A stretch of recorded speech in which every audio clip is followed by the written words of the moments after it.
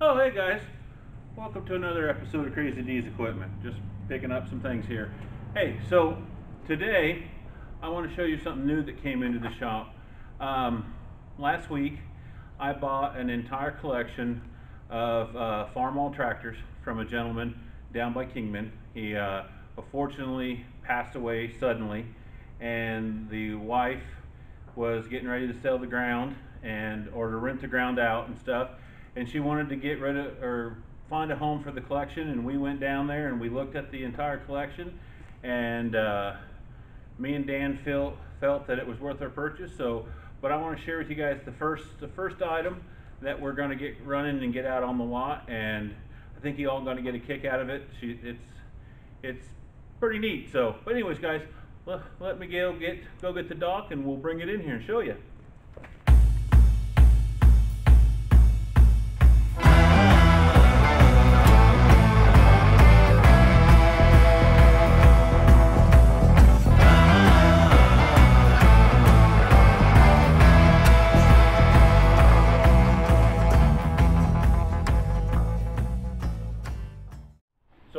guys.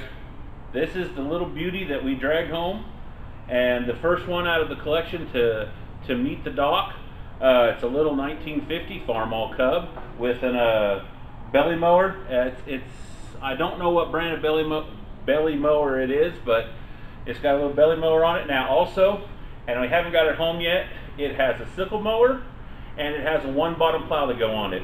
So a little history on these uh, on these Farmall Cubs. So Farmall Cub, they started building them in 47 and they built them all the way to 1981. They're the longest running series of tractor. Now, they changed a lot in that time and they and they changed the way that they were sold and the way they were marketed, but basically they were the same tractor from from day one to to the end. Um, they also made another little a model of this called the Cub Lowboy or the Lowboy Cub and it's shorter to the ground and a lot of those you find with the belly mower. In uh, 1960, they quit painting them red with the Farmall, the Farmall red and stuff. They started painting them yellow and white, just like the Cub Cadet tractors, and they were just called Cubs. Now they were these were both sold. Um, you know how some some uh, hardware stores and stuff would sell Cub Cadet tractors but not full farm Farmalls or full international size tractors and they actually would sell the cub.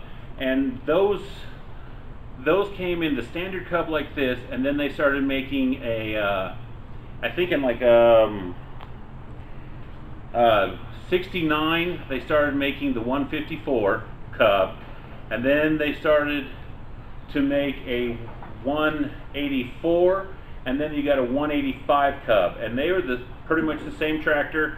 The only difference is that they um, that they have a they have a flat grill. Uh, there's the yellow and white. They either come in a lowboy model.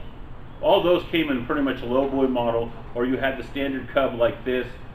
Um, these were originally were advertised to the farmer as uh, auxiliary power for the farm and they were designed for uh, bigger farms to use for pulling trailers around or they had a little belt pulley thing on the back where you could run a feed grinder or um, do that kind of stuff. Um, now me and Danny started, me and the doc started working on this one here and we've come into a few things that this one's going to need. So what, what are we got to do to this, Dan? Let them, let them know what, what this project contains for them, for the future. Um, this one has quite a bit, a few little major problems actually. A few major problems? Yeah. I got it, the ring gear on the flywheel is all chewed up. I gotta get the carburetor cleaned up better than I think I, I did. So, and other than that, it wants to start. It's got good spark. You, Yeah. were, you were lighting that little uh, spark tester up like a Christmas tree. And I know earlier when you were trying to start it, start it, was just going. Wasn't at all grabbing that flywheel. It wasn't touching nothing in there. Well, this one here was a later restoration, and the guy that had, you know, he restored several of his tractors, and I think he used this one as kind of his lawn and garden tractor. And uh, you know that steering wheel is definitely an aftermarket after a car and stuff, but it's got good rubber on the back. It's got decent rubber on the front. It's got one new on here, and that one needs to be replaced.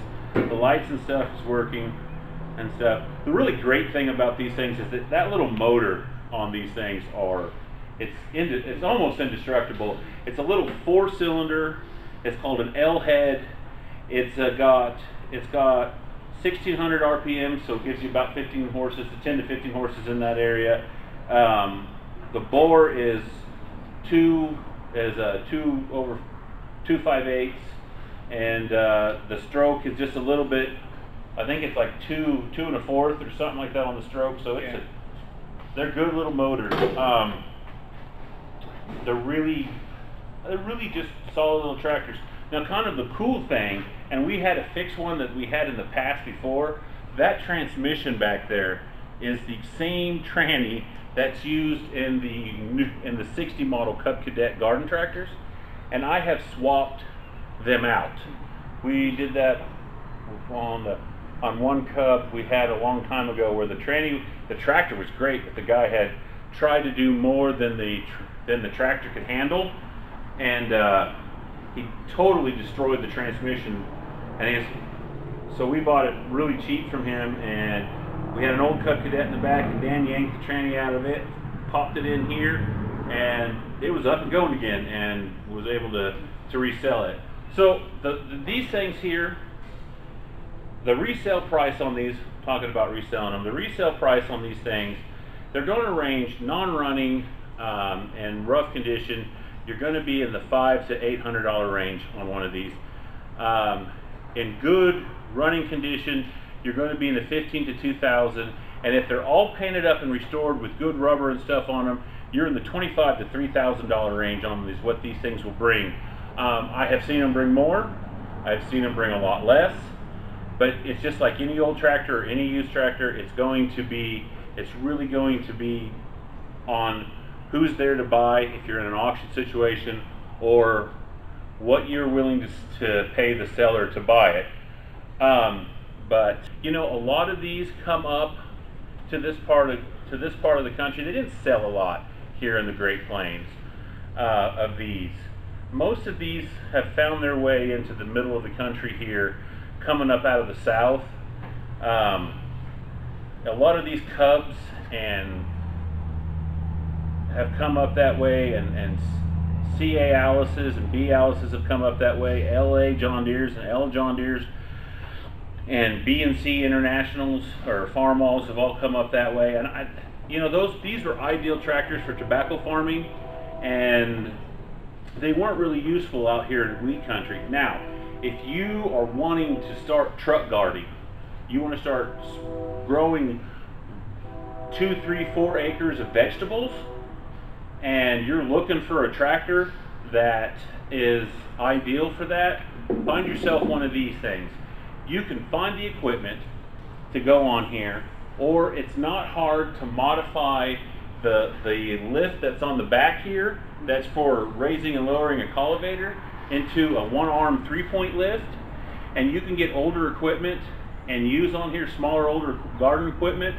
And you could, and I know a guy that has a uh, 10 acre garden, and this is what he uses. He's got he's got a newer one of these from the 70s that uh, that he he uses to do truck gardening, and I mean it just works like a top. And you know, and that's what it's made because you sit off on the side here, if you notice, and you have straight view here. And I on the B's when they first started doing that on the B's and the A farmalls, they called that Vision.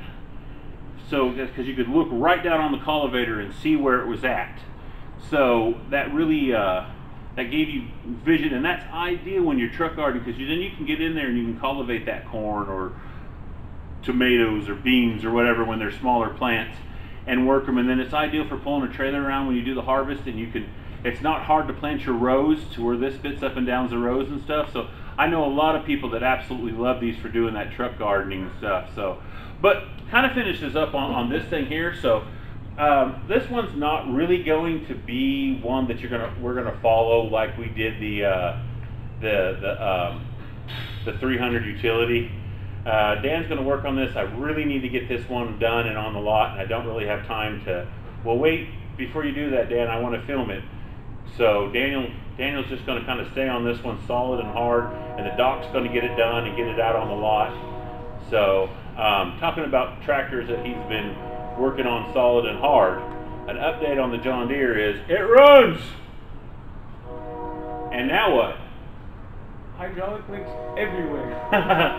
it poured out hydraulic fluid out of the rear end from over with, from the cylinder where the where the not cylinder but from the where the uh, the filter went in it was pouring it was pouring out from the brake yeah uh, uh, There's a couple other places, places yeah so. so we I guess we kind of know why the uh, three point wasn't working it probably didn't have any fluid to operate it because it poured out everywhere.